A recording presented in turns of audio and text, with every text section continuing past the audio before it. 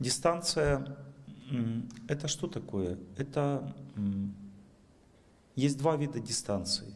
Есть интимная близость или отдаленность.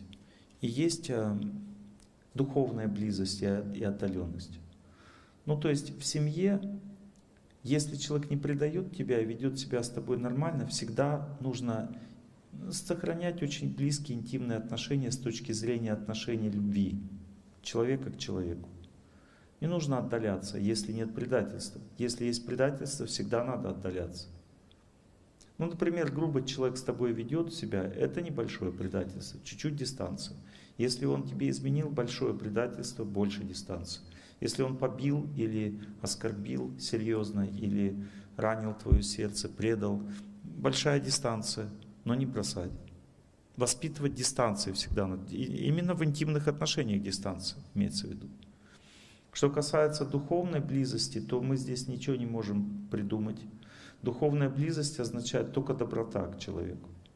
Вот если вы развиты духовно, то ваш близкий человек тоже будет развиваться, если вы добры к нему. Добры означает, приняли его,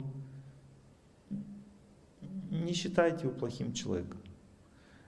Если человек не развит, он вообще не является плохим человеком. У каждого есть своя стадия развития. И причем интересно знать, что у нас есть определенные последовательность развития, и, допустим, у меня сейчас рывок, да, это не значит, что я вот все, как бы он всегда сзади. Вот придет время, и у мужа может быть рывок, и он уйдет вперед меня намного. Тогда кто более развит? Опять согласно этой шкале, что он теперь более развит, я, я унижен в отношениях, да?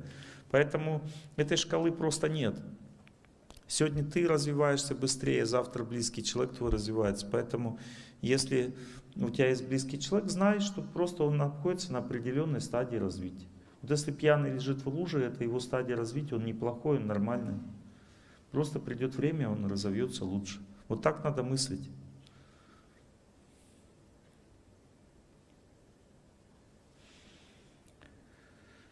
Итак, есть духовная дистанция. Я не могу с каждым человеком откровенно обсуждать Бога. Это очень глупо будет и неправильно. Вот, допустим, вы пришли с лекции и начали откровенно говорить о лекции с близкими людьми. Вы разрушите свою веру. Так нельзя делать. Близкая дистанция в духовных вопросах — это доброта к людям. Ну то есть доброта дает возможность вам понять, сколько вы можете сказать с лекции человеку, чтобы он не напрягся, не разрушил с вами отношения. Только доброта определит сколько. Вот как мне определить, сколько вам сказать на этой лекции? Чтобы вы не напряглись, чтобы э, не разрушилась ваша направленность к духовной жизни. Только доброта поможет мне этот вопрос решить. Доброта является индикатором для того, чтобы понять, как беседовать с человеком. И доброта как раз и означает близость. Не надо думать, что я духовно не могу быть близко к неразвитым человеком. Не надо делать такой вывод после моей лекции. Доброта дает возможность быть близко к кому угодно. Святой человек может быть близок к самому последнему негодяю, если он добр по отношению к нему. Но он при этом не может ему сказать все. Он ему говорит столько, сколько тот переварит.